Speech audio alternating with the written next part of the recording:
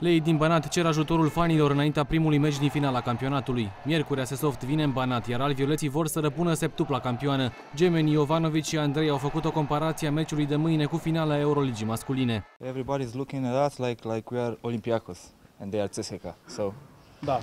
we gotta win this. And yesterday we was fan of Olympiacos. Yeah. Basketbaliștii cer ajutorul fanilor în frunte cu antrenorul Predeac Baniarevici.